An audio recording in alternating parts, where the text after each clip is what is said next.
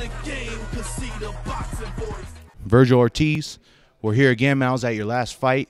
You looked impressive, man. You're still not, you're nine and zero, correct? Nine KOs. All right, man. What's been the key for you, man, in your career so far, man? Knocking out all these guys. I think the the key was that I I've had a lot of experience already, and uh, the power uh, definitely um, it works in my favor. So combining that, I know what punches work and what don't. So I just get them out of there, you know.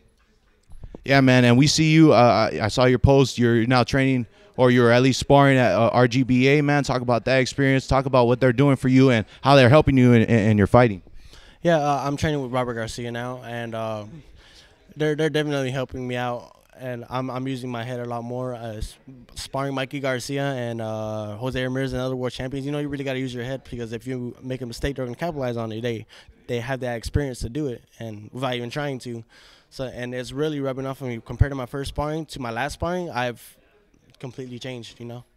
So you say you're saying head movement has been key, uh, something that you focus on since since you've been over there. Uh, not necessarily head movement, just using my head, like smarter.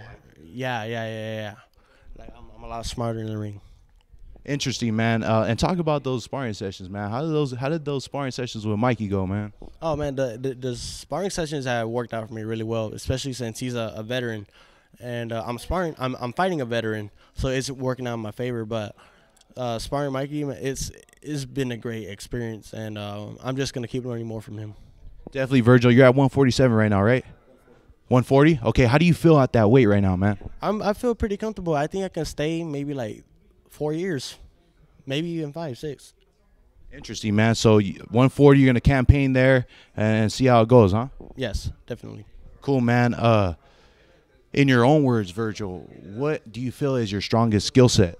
My strongest skill set, mm, I think right now inside game probably uh well we're we're sharpening up my uh boxing skills like you know boxing because i was actually a, real good boxer before you know in the amateurs i was You're not anymore. um you know not not not as good as i was back then i was i was a real great boxer like i if you know there's there's some guys that you can't just fight one way with if they're inside fighter you, you best keep them out if if uh if they like to move you know, you got you got to learn how to yeah cut the ring, and you got to fight outside. And once they do get tired, then you got to learn how to you got to know how to fight inside. So you can't just fight one way. And that, that's the kind of fighter I was. I've gotten away from that, but I'm starting to get back to it. So your your versatility is starting to come into play. You feel? Yes.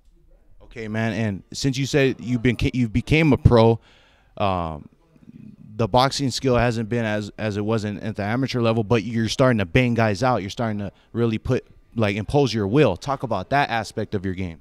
Oh yeah, definitely. When I started pro, um, I think the knockouts maybe got a little bit to my head. I felt like I needed to knock everybody out. But these past fights have been getting tougher, and I realized I can't knock everybody out.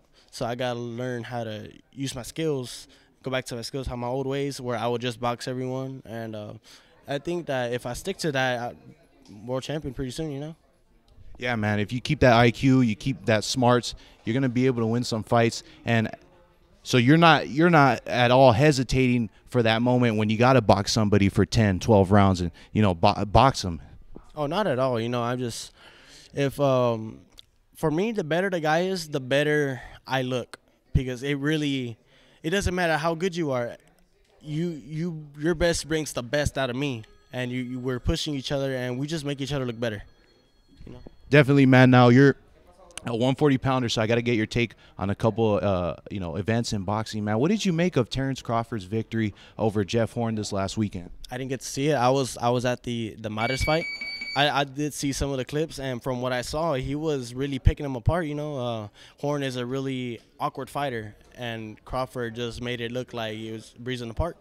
Yeah, man, and obviously uh, Errol Spence fights this week, man.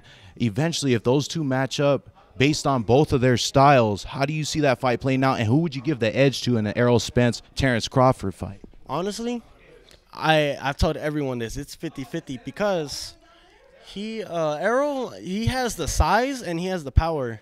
He's he's not necessarily as fast uh, like like Crawford. Uh, even Crawford's not like incredibly fast, but he's not faster than him. And uh, they're, they're both southpaws, right? Yeah, well, Crawford has the ability to go both sides, but he's been fighting out of the southpaw lately. Okay, okay. Well, you know that that cancels out. You know, usually the southpaw has the advantage over a right-hander, so they're equal right there too.